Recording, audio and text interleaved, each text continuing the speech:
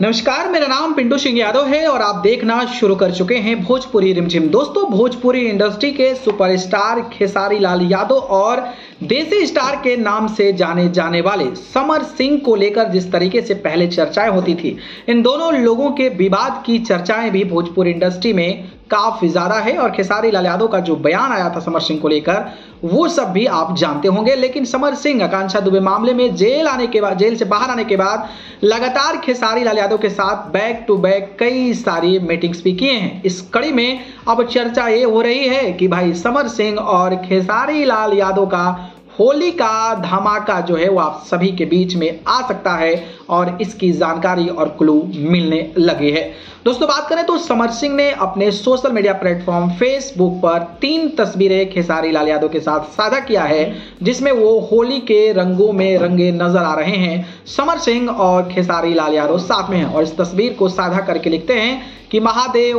Holi shoot, यानी कि अलग स्पष्ट है कि भाई होली गाने की शूटिंग हुई है, अब क्या होली गाना साथ में आ रहा है, ये अभी सस्पेंस बना हुआ है। इसके अलावा एक्ट्रेस रानी, जो काफ़ी ज़्यादा चर्चा में है डबल रोटी गानों को लेकर सुर्खिया में बनी थी, उन्होंने भी एक तस्वीर को साझा किया है, जिसमें खेसारी, लाल यादव नज़र आ रहे हैं और साथ में जो समर सिंह है, वो भी नज़र आ रहे हैं और इस तस्वीर को साझा करते हुए रानी लिखती हैं कि coming soon blast song on we are music यानी कि वी आर म्यूज़िक पर ब्लास्ट सॉन्ग आने वाला है और उन्होंने बाकायदा खेसारी लाल यादव के अलावा समर सिंह और वी आर म्यूज़िक और पवन पाल डायरेक्टर को टैग किया है। मतलब क्या? मतलब इस तरीके की तस्वीरें आना, ये स्पष्ट रिप्रेजेंट कर रहा है कि भैया ऐसा लग रहा है कि खेसारी लाल यादव और समर सिंह एक साथ आने वाले हैं। बाकी आपको क्या लगता है, इस तरीके की तस्वीरें साझा करने के बाद क्या आपके मन में सस्पेंस आ रहा है? कमेंट बॉक्स में ज़रूर बताइएगा और अगर आता है तो आप लोग कितना प्यार दीजिएगा इस जोड़ी को बताइए। धन्यवाद।